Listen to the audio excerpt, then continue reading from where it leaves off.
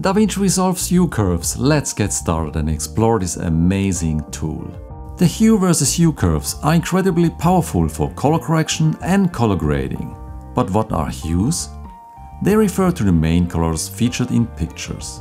It consists the primary colors with RGB red, green, blue and the secondary colors yellow, teal and violet.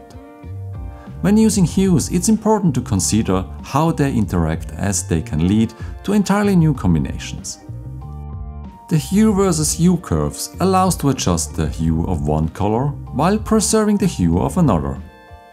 For example, you can adjust the hue of the blue in your footage without affecting the hues of the reds and greens. And with hue versus sat, you modify the saturation, which is how intense or vivid a color appears. With hue versus luma, you adjust the brightness of the selected color.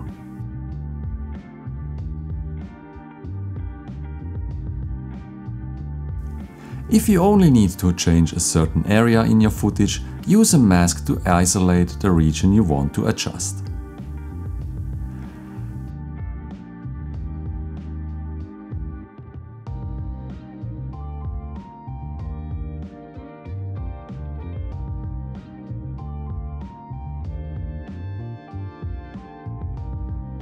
Hue curves are an amazing way to unleash your creativity and explore new possibilities of taking your footage to the next level. If you enjoy this content, please give me a like and start a conversation in the comments below.